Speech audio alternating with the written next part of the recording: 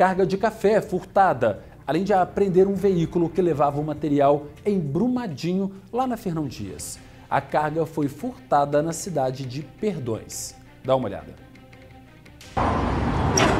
O vídeo mostra o momento em que o policial abre o baú do caminhão, que está carregado com caixas de café que haviam sido furtadas na cidade de Perdões. Segundo a polícia, após a ordem de parada, o motorista fugiu por um matagal às margens da rodovia. Os policiais também identificaram que o caminhão era clonado e havia sido furtado na cidade de Santa Luzia. Já a carga de café não possuía documentos fiscais. A carga recuperada foi devolvida para a vítima e o veículo clonado foi apreendido e encaminhado para a Polícia Judiciária de Brumadinho.